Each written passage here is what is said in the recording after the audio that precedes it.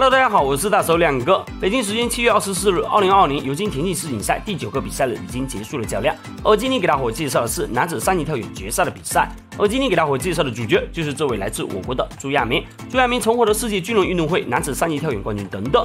朱亚明同时也是东京奥运会该项目的银牌获得者，可以说朱亚明也是中国男子三级跳远新的领军人物。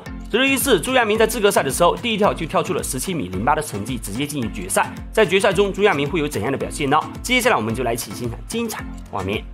本场比赛，朱亚明的最大竞争对手就是来自葡萄牙的皮萨多。皮萨多也是东京奥运会该项目的金牌获得者，可以说也是位实力派选手。比赛开始后，皮萨多在第一跳的时候就展现出他的绝对实力。这一跳，皮萨多竟然跳出了十七米九五的成绩，占据第一位。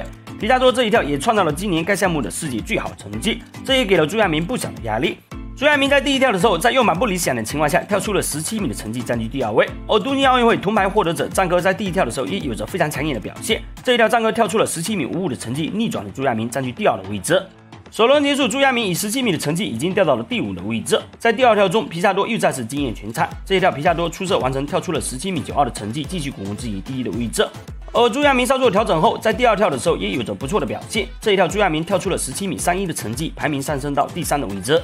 朱亚明的第三跳因为踩线无成绩，在第四跳的时候，朱亚明在用板方面还是不怎么理想。这一跳朱亚明只跳出了十六米九八的成绩，继续取在第三位。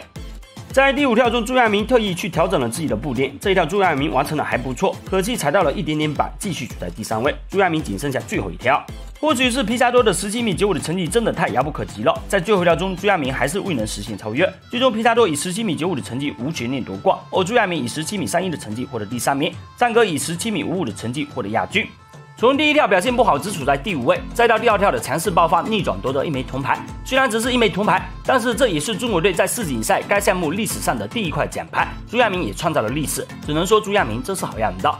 好了，本期视频就到这了，看见体育赛事，有我大嫂相伴，我们下期再会。